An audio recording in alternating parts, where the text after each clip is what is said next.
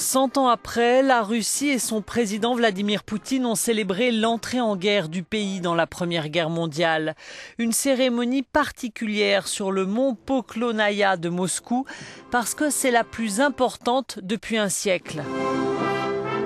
En effet, si on est habitué dans nos pays aux monuments aux morts dans chaque village, en Russie, cette guerre a été tout simplement oubliée.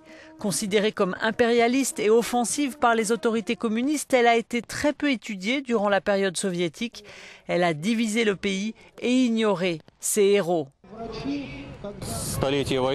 Le centième anniversaire de la guerre est une date très importante, dit ce participant. Malheureusement, on n'a pas parlé de cette guerre pendant des années. Il n'y avait pas un seul mémorial dédié à la Première Guerre mondiale.